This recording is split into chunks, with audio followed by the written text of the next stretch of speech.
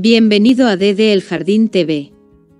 En este programa echemos un vistazo a los métodos por los cuales podemos deshacernos de los gusanos de repollo, que causan un gran daño a nuestras coles. En primer lugar, dado que llamamos a estas plagas orugas en general, a veces podemos cometer errores sobre su lucha. Porque podemos aplicar diferentes métodos para cada plaga. Existen métodos por los cuales podemos deshacernos de todos ellos, pero específicamente algunas aplicaciones para algún daño, aunque son mucho más beneficiosas, es posible que no tenga la oportunidad de deshacerse de otras orugas. Si hay pequeños agujeros y capullos en sus hojas de repollo, es la oruga verde, si hay agujeros más grandes, si nuestras hojas son solo las ramas principales que se moldean, convirtiéndose en forma esquelética, este es el daño de las orugas más grandes, que llamamos caterpills. Las orugas, que llamamos catepiles, son con mayor frecuencia las larvas de las polillas halcón. Las polillas halcón a menudo ponen sus huevos en vertederos de basura. Por lo tanto, no cree un lugar en su jardín que llamará basura. Para deshacerse de las orugas y gusanos de la col, puede intentar cubrir sus coles. La mayoría de estas polillas ponen sus huevos en el repollo y una planta de mostaza. La mejor manera de proteger nuestras coles de las polillas que pondrán huevos en ellas es cubrirlas. Si está produciendo en un área pequeña, si prepara un dispositivo que pueda cubrirlos, tendrá una alta probabilidad de deshacerse de estas polillas y por lo tanto de las larvas. Como sabes, las verduras que pertenecen a la familia del repollo vienen en una variedad de colores. Aunque son predominantemente verdes, también hay variedades con patrones de color hasta el púrpura, que escapan a la oscuridad. Trate de plantar mixtas porque las variedades de repollo, especialmente las que son oscuras, son mucho menos dañinas, y si las planta mezcladas con otras variedades verdes, eliminará la posibilidad de causar al menos suficiente daño a la plaga económica por venir. Además, si colocas las mariposas falsas, que puedes llamar tan improbables, hermano, pero que podemos decir que son mucho más efectivas que todos los demás métodos, alrededor de tu repollo, las otras mariposas y polillas no vendrán aquí y pondrán huevos.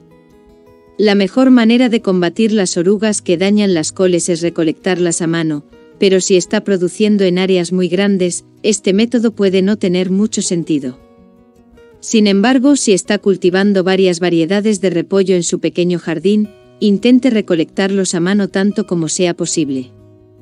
Una de las luchas que harás contra los gusanos de la col es la lucha biológica. Hay dos productos que podemos utilizar. Cuando digo producto en realidad están vivos. Uno es una bacteria, el otro es un nematodo.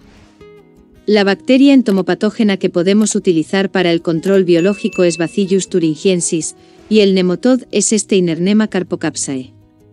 Puedo decir que si compra estos dos productos y sigue las instrucciones de uso en ellos, verá grandes beneficios. La bacteria suele ser muy efectiva en las larvas, el nemot también tiene un gran efecto sobre los huevos. Generalmente también se usan del tamaño de una cucharada por 5 litros de agua, pero en el producto que compra, ya hay una instrucción de uso. Tienes la oportunidad de usarlo de esa manera. También está la aplicación de aceite de NEEM, del que puedes ver los beneficios si lo usas, aunque no es muy efectivo. Usted puede beneficiarse de usar esto ocasionalmente también. Además, no pasemos sin decirlo, es posible que no tenga muchas posibilidades de deshacerse de estos gusanos y orugas de repollo con consejos como poner sal en el agua, poner agua de ortiga en el agua, que poner en el agua. Porque estas aplicaciones suelen ser inútiles porque el contacto es efectivo y no tiene unas propiedades muy letales. También hay algunas plantas hermanas que puede desalentar a estas polillas de poner huevos en su repollo.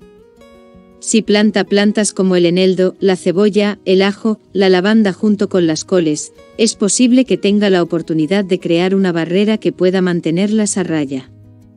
Sin embargo, no plante caléndulas junto al repollo, que son muy populares, pero también peligrosas.